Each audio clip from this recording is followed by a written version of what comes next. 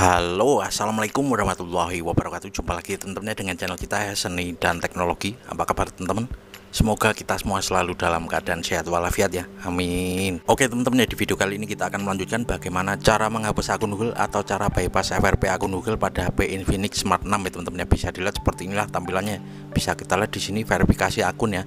Nah ini perangkat ini telah diriset untuk melanjutkan masuk dengan akun Google yang terakhir disinkronkan dengan perangkat ini teman-teman ya. Jika kita ingat ya tinggal kita loginkan saja. Namun jika lupa kita tentunya harus menghapusnya atau membypass FRP akun Google nya teman-teman ya. Bisa kita lihat pada pojok kiri atas atas ada ikon gambar gembok ini menandakan kalau HP ini terkunci akun Google dan di sebelah kanan sudah kita sambungkan ke jaringan WiFi teman-teman karena tadinya untuk memastikan kalau HP ini terkunci akun Google teman-teman Oke di sini kita akan membahasnya bagaimana cara mengatasinya. Namun tentunya seperti biasa teman-teman sebelum lanjut jangan lupa dibantu like di subscribe dan komen nanti jika ada yang ditanyakan ya teman-teman Oke langsung saja kita mulai tutorialnya. Saya jangan skip biar tidak gagal ya teman-teman di sini kan WiFi nya terhubung ya. Nanti akan kita putuskan dulu ya teman-teman untuk jaringan WiFi atau hotspotnya teman-teman teman-teman ya Oke langsung saja di sini kita pilih kembali-kembali terus hingga ketampilan jaringan WiFi ya teman-teman ya di sini akan kita putuskan dulu untuk jaringan WiFi atau hotspotnya ya. Oke kita pilih kembali-kembali terus hingga ketampilan jaringan WiFi atau sambungan ke WiFi seperti ini. Selanjutnya kita putuskan untuk jaringan WiFi yang terhubung itu teman-teman ya di sini kita kebetulan menggunakan WiFi dan di sini akan kita pilih putuskan atau kita lupakan ya teman-teman. Bisa dilihat di sini sudah tidak tersambung atau terhubung ke jaringan WiFi atau hotspot ya teman-teman ya. Selanjutnya di sini kita membutuhkan satu kartu ya ya. Tentunya yang ada kuotanya nggak perlu dikasih pin ya untuk kartunya. Ini yang penting ada kuotanya teman-teman ya. Oke langsung saja kita masukkan dulu untuk kartunya. Kebetulan di sini kita menggunakan kartu M3 kartu apa saja bisa yang penting ada kuotanya ya. Di SIM 1 atau dua sama saja yang yang penting terbaca ya teman-teman ya. Oke kita masukkan dulu. Selanjutnya kita tunggu hingga untuk sinyal internetnya terbaca atau 4G nya ya. Kita tunggu masih loading ya.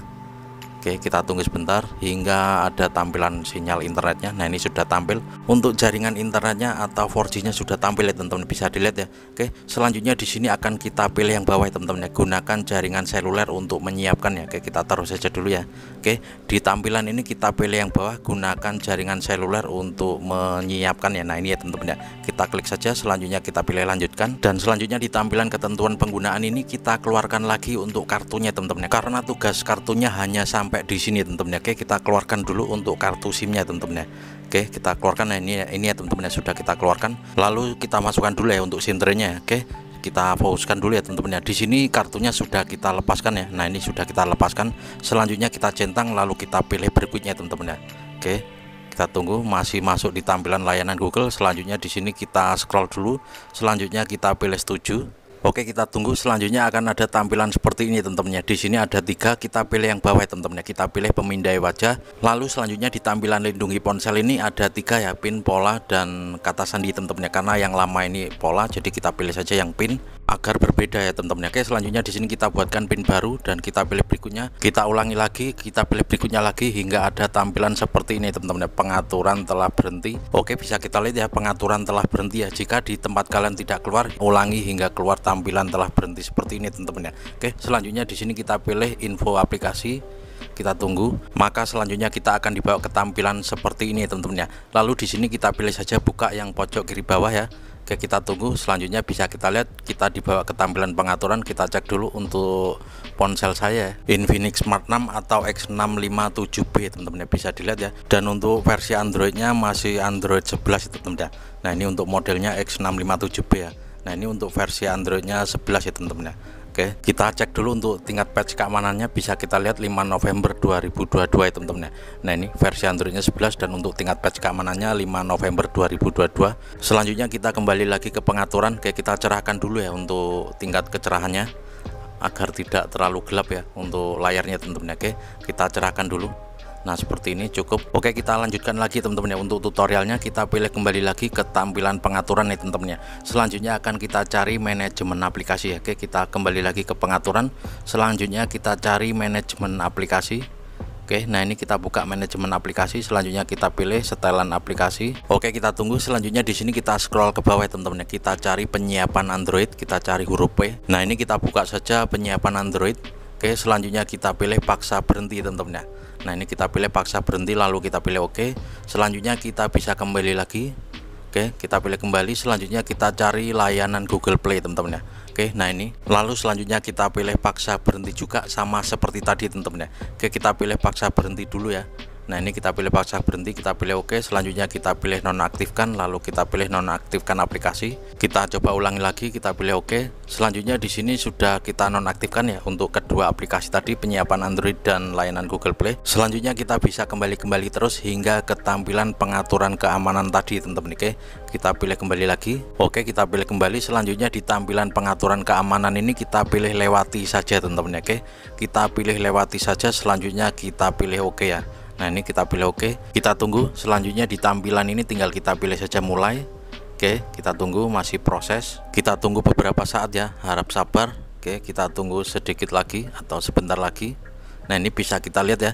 Ini adalah penampilan awal dari HP Infinix Smart 6 setelah kita bypass FRP akun Google-nya teman-teman ya. Jadi prosesnya lumayan panjang. Saya harap jangan skip biar tidak gagal pamit teman-teman ya.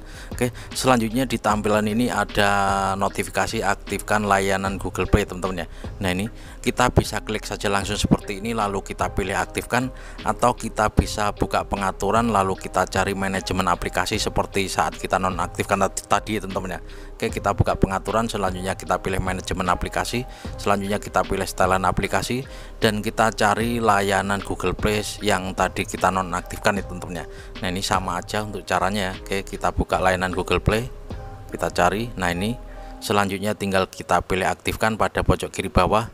Oke bisa kita lihat di sini sudah aktif ya untuk layanan Google Play-nya. Atau kalian bisa klik pada notifikasi selanjutnya tinggal kita pilih aktifkan ya teman-teman ya. Oke jadi seperti inilah cara bypass FRP akun Google pada HP Infinix Smart 6 ya teman-teman ya. Semoga saja video ini bisa bermanfaat ya. Sekali lagi terima kasih yang udah klik video ini. Jangan lupa dibantu like di subscribe dan komen nanti jika ada yang ditanyakan ya teman-teman ya. Selanjutnya kita di sini bisa menambahkan untuk akun Google-nya. Kita bisa tambahkan akun Google baru atau kita bisa login dengan akun Google yang lama Oke kita sambungkan dulu ke jaringan wifi teman-teman ya. Oke jadi memang gampang-gampang susah untuk proses bypass FRP akun Google pada HP Infinix ini ya teman-teman ya.